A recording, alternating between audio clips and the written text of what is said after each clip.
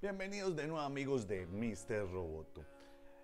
Hoy vamos a tener un tutorial sobre lo que llamamos el transportador de discos, movedor de discos, como lo queramos llamar, es el, el, Disk Mover. Y vamos a ver diferentes formas de cómo podemos llevar a cabo esta actividad del Disk Mover.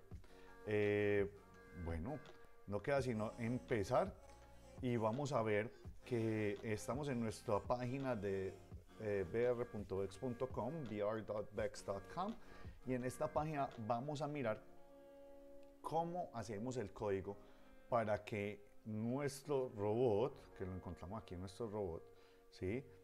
Eh, recoja los discos. Hoy como ejercicio vamos a recoger los nueve discos.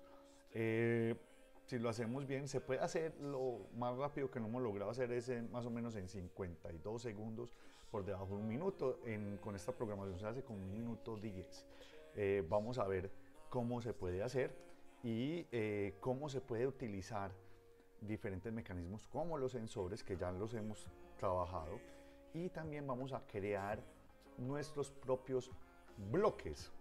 Entonces al crear nuestros propios bloques vamos nosotros a poder eh, hacer que la programación sea un poquito más dinámica. Entonces lo primero que vamos a hacer es analizar. Mi robot tiene que recoger, ¿sí? Entonces lo que vamos a hacer es que, pues que si ve un disco, que si ve un objeto, este objeto simplemente lo recoja y lo traiga. Entonces vamos a hacer lo siguiente. Primero, vamos a configurar lo que es las velocidades. ¿sí? para que nuestro robot lo haga muy rápido. Entonces vamos a poner la velocidad al 100%. Normalmente está al 50, yo ya lo tengo preestablecido al 100, eh, pero ponemos la velocidad de giro y la velocidad de manejo al 100%. Y luego vamos a proceder con nuestra programación. Yo no voy a poner bloques aquí porque vamos a hacer algo eh, que van a ver por qué se hace en un momento. Entonces lo primero que voy a hacer es, vea, mientras que mi robot no detecte ningún objeto, si no detecta ningún objeto, lo único que va a hacer es recogerlo. Y en el momento que lo recoja, se va a devolver y mientras que la distancia del muro ¿sí? no esté muy cerquita, eh, cuando ya se está acercando, perdón, eh, lo que va a hacer es dejar el, el disco, devolverse e ir por otro. Entonces, eso es como lo hacemos. Entonces le voy a decir, Recordemos que lo hacemos en, España, en inglés porque la traducción en español es la mejor. Entonces, vea, mientras, while, mientras. Mientras que no, ¿sí? Entonces, mientras que no detecte un objeto con el sensor de abajo, ¿sí? Entonces vamos a poner eh, aquí, mientras que el sensor el down eye no esté cerca de ningún objeto, ¿sí? ¿Qué va a hacer? Pues va para adelante, hermano. Eso simplemente va a ir para adelante y ya. Forward. Eh, en el momento que lo detecte, pues hombre, vamos a activar el magnet el magnet lo vamos a activar y este magnet lo que vamos a hacer es, me lo va a cargar, luego giramos 180 grados. Bueno, vamos a ver si nos funciona primero, vamos a, simplemente a ver eh, si esta primera parte de la programación es bueno probarla, que si no nos da hay que hacer cambios. Entonces vamos a ver. En este caso mi robot está yendo, él detectó, entonces ahí se demoró mucho, ¿sí? Porque no, lo, no alcanzó a ver el primer objeto. Entonces, ¿qué vamos a hacer? Para poder poner el, el, magnet desde el principio, ¿sí? Pero que no me recoja los que ya dejó, porque es que ese, es el problema. Sí, que de pronto yo dejo uno y después voltea y lo vuelvo a recoger. Yo no quiero que me haga eso. Entonces vamos simplemente que cada vez que avance pues hombre, que avance un tricito para poder evitar eso. Vamos a ponerlo que avance, pues hombre, un cuadrito, ¿cierto? O un poquito más, 300 puede ser. Y eso me permite que mi robot eh, evitar eso. Bueno, vamos a hacer y así puedo poner el magnet que cada vez que aquí antes del drive forward me haga activar el imán, ¿cierto? Bueno. Vamos a ver que ya en este momento me debería estar cogiendo el primero. Vamos a ver si, si lo recoge. Bueno, hay, hay un error porque le puse reversa, pero no importa, son las cosas que pasan cuando programamos así en vivo. Eh, podemos ver que el robot en este momento recoge, se devuelve. ¿Y qué va a hacer? Le vamos a decir, vea, mientras que no, mientras que la distancia sea mayor a 260, o sea, si no está muy cerquita, porque de lo contrario va a estar muy cerquita, entonces que si la distancia está mayor a, a 210 o 60, pues hombre, ahí caminen. Y de lo contrario, ya cuando está acercando, lo que va a hacer es que va a soltar. Entonces le vamos a hacer lo mismo. ¿Sí? Mientras que la distancia sea mayor. Recordemos que ahí tenemos operadores lógicos y operadores aritméticos. El NOT es un operador lógico, el mayor que es un operador aritmético. Entonces le voy a poner que si la distancia. Y algunos de estos bloques los vimos en otras programaciones, en otros tutoriales. Igual es bueno repasarlos. Entonces que si la distancia es mayor a 260, pues hombre, caminemos, ¿cierto? Él me va a caminar. En el momento que no, me va a soltar, me va a soltar el, el magnet. Entonces en vez de boost le vamos a poner drop. Eh, si no estoy mal, en español aparece como aumentar y, dejar, ¿sí? o soltar. Eh, y va a volver a voltear 180 grados. Entonces de esta forma me aseguro que mi robot esté otra vez en posición. Si yo lo pongo me va a dejar el, el mismo y queda en una posición parecida a la del inicio. Entonces me va a dejar el primer disco y vamos a quedar en una posición muy parecida a la del inicio.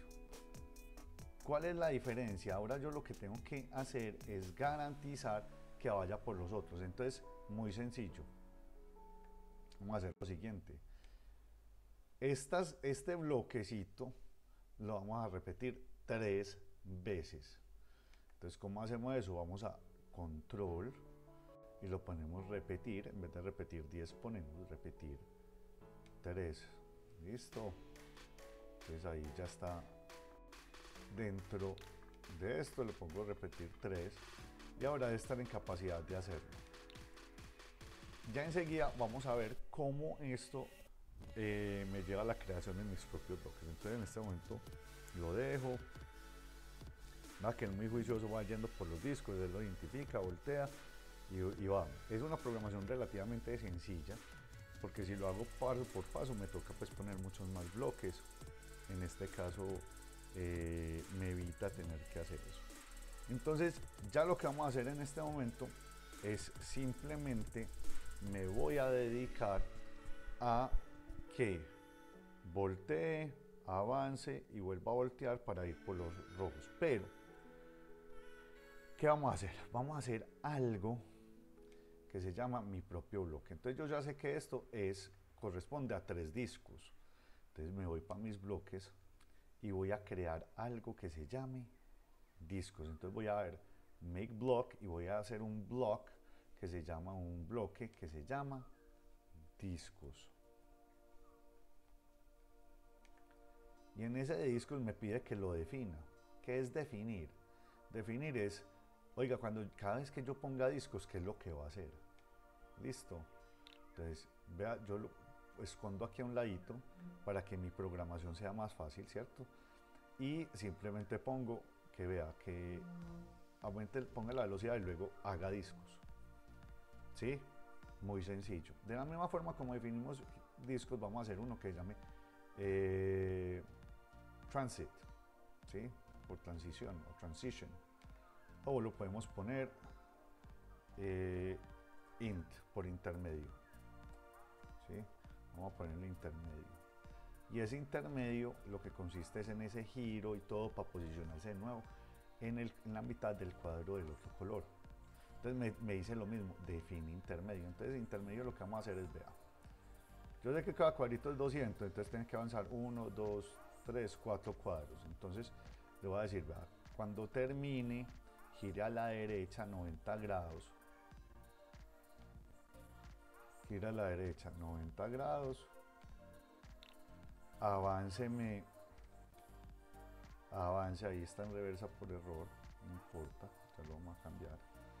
Entonces le vamos a poner que avance 800, porque ya vimos que son cuatro cuadros y cada cuadro mide 200. Y luego otra vez a la izquierda. Listo, a la izquierda. Y le ponemos aquí 90 grados. Ahí me vuelvo a poner. Entonces ya sé que intermedio significa ese giro. Listo. Entonces ya lo que voy a hacer yo es, vea, vamos a hacer lo siguiente. Va a empezar la velocidad, va a ser discos, luego hace un intermedio y luego debe hacer discos de nuevo. Pero en este momento simplemente vamos a mostrar cómo hace estos dos y ya ponemos los otros. Entonces, a la cuenta de tres, vamos primero a reiniciar y él ya debe estar en capacidad de hacernos nuestros primeros tres discos y ir al cuadro de color rojo y luego va a hacer los otros dos discos adicionales. Excelente ahí va por nuestro tercero ahí se ahí le gustó mucho y, casi se va hasta el final. Eh, no importa. Listo. Vamos a lo mismo y ahí y ya sé que puedo poner discos entonces discos para el rojo el intermedio para que vaya el verde y luego el verde.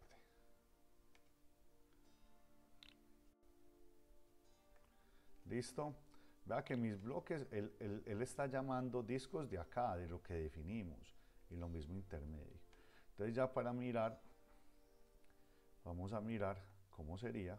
Vamos a ponerlo un poquito más grande para que para vivirlo mejor y vamos a poner nuestros bloques como pudieron observar ahí ya estamos creando bloques estamos con sensores estamos con un montón de cosas que nos permiten agilizar un poquito la programación y eso es lo que se trata el día de hoy esto no debe demorar más de un minuto hacer esta eh, pues ya recorrer eh, la programación como tal bueno, hay unos errores que eso, eso pasa a veces cuando está compilando.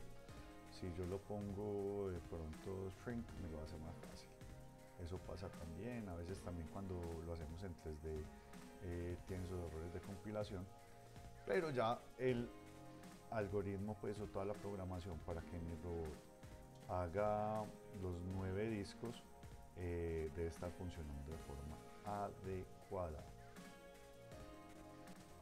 ¿sí? Ahí va a ir por los eh, bloques rojos y luego iría por los verdes.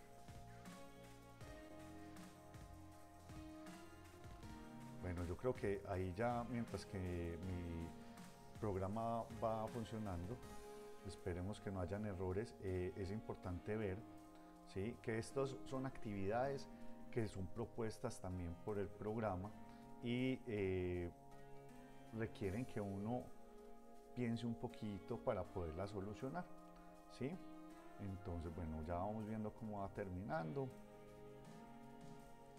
Cuando estamos haciendo con la grabación, a veces el, el delay, hay una demora ahí del video que nos parece pues que va muy lento, pero no, la verdad es que es una demora del video normal, pero vea que ya mi, mi robot está solucionando los retos sin problema y vimos que creamos los bloques, usamos eh, distancia con el front eye. Bueno, ahí hubo un error al final, pero no importa. El caso es que eh, esa es la programación que nos va a hacer el que solucione el disk o también lo podemos hacer bloque por bloque, es otra opción de hacerlo. Bueno, como siempre les recuerdo, ¿sí? no olviden suscribirse aquí en el canal, activar notificaciones y esto fue todo por hoy en Mr. Roboto. Robótica para mentes inquietas.